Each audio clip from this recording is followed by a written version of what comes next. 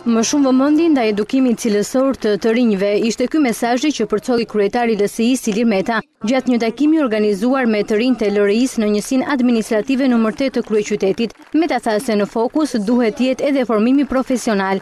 Është koha për t'i kushtuar një vëmendje më të posatshme edukimit më cilësor të të rinjve tanë dhe të fëmijëve tanë.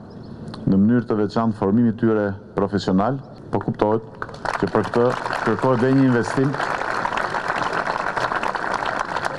një investim më i mençur dhe më cilësor i qeverisë dhe i shoqërisë. Meta u shpreh se shoqëria shqiptare ka nevojë për më shumë paqe sociale, prandaj, tha ai, është me shumë rëndësi mesazhi për bashkëpunim që përcjell LSI.